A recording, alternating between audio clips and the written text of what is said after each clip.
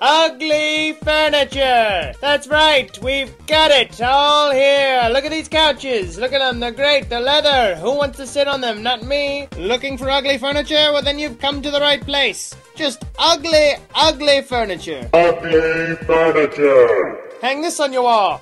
That'll get people talking. Oh man! Wow! Look at that thing. I wish it was not on the wall. How about a teardrop filled with frog eggs? You know you need one. Every house does. Want an ugly table to put ugly stuff on? We've got that. We will not be undersold, especially on pink genie bottles. How about a random black guy plucking out a jive lick? Not exactly ugly, but kinda weird. Always wanted one of these?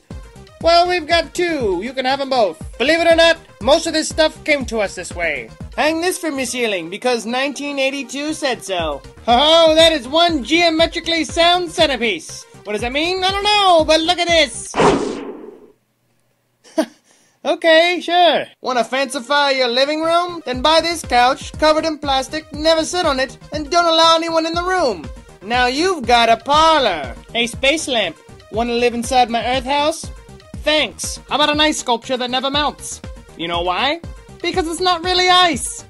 Some people ask, hey, why do you have a Wynonna Judd poster in your store? And to them I say, have you forgot the name of the store? Ugly furniture. Miss the beach? Put this on your sun porch. It's just like being there. If you hold your ear up to it, you might get a greasy mark on the glass. How about a crystal butterfly? Wish you could have it, oh, but you can't. Sold out. Ugly furniture. Located on the corner of King of Prussia Boulevard and Tri-State Area Street.